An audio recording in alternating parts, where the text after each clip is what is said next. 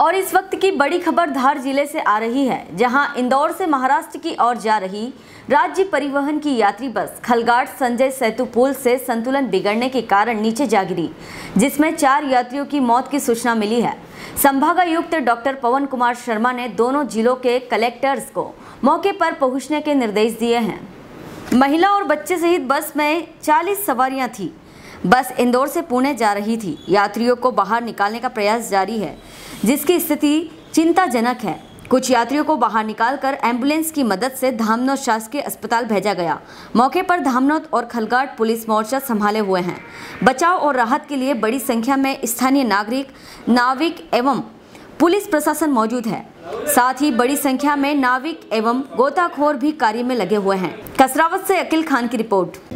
जो रोज़ खलघाट में नौ बजे के आसपास पहुँचती नौ साढ़े नौ के आसपास पहुँचती है है ना? इसमें ये अमलनगर डिपो की बस थी जो इंदौर से अमलनगर रोज़ इसका रूट रहता है। इसमें कुछ चालीस के करीबन पैसेंजर भी थे और ड्राइवर और कंडक्टर दोनों अमलनेर से ही है। आ, उनकी डिटेल्स भी आ चुकी है।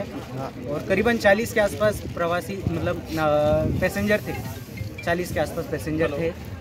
अब देखते धीरे धीरे जैसे डिटेल्स सारी। आठ दस लोगों की आई है जैसे जैसे आती है वैसे पता चलेगा। और ये लोग खबर की गई है? हाँ उन्हीं का फ़ोन आ रहा है। हमने डेपो में शिरपुर डेपो और अम्बंडे डेपो जो डेपो की बस है वहाँ पे इन्फॉर्म करा।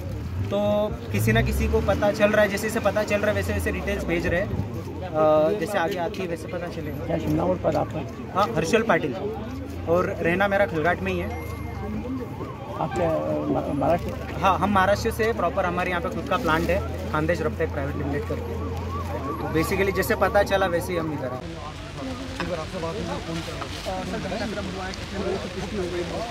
आए। ये बस इंदौर से महाराष्ट्र जा रही थी।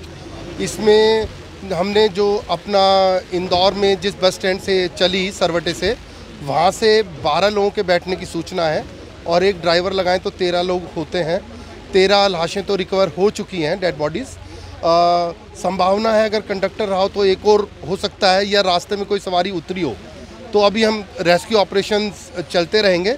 आइडेंटिफिकेशन के लिए आ, जो लोकल लोग हैं और जो भी तरीके हो सकते हैं आई कार्ड वगैरह ढूंढना या आधार कार्ड किसी की पॉकेट में हो धामनोद में हमारे जो कम्युनिटी हेल्थ सेंटर है वहाँ पे उनका आइडेंटिफिकेशन का काम चल रहा है। मैंने बताया ना कि 12 लोग सरवटे बस स्टैंड से चढ़े थे और एक ड्राइवर होगा तो तेरह तो इंदौर से चले हैं रास्ते में कोई बैठ भी सकता है और उतर भी सकता है। इसलिए निश्चित तौर पे नहीं कह सकते कि कितने लोग थे। नहीं नहीं अभी उस तरह की जाँच अभी तत्कालिक कार्य नहीं है तत्कालिक रेस्क्यू ऑपरेशन है उसके बाद जाँच देखेंगे बाद में उसके बाद में कार्रवाई की जाए कितनी दिक्कत आ रही है? राहत बचाव कार्य में। नहीं हमारी टीमें तत्काल स्थल पर पहुँच गई और दोनों कलेक्टर्स भी तत्काल स्थल पर आ गए पुलिस की दोनों टीमें भी आ गई। बड़वानी ज़िले से भी सारे लोग आ गए। बारिश में ख़राब मौसम के बावजूद भी यथाशीघ्र संभव रेस्क्यू ऑपरेशंस किए गए हैं। बस भी बाहर निकाल ली गई है। इसलिए प्रशासन ने बहुत त्वरित कार्यवाही की है। वो अभी तत्कालिक विषय नहीं है वो हो जाएगा।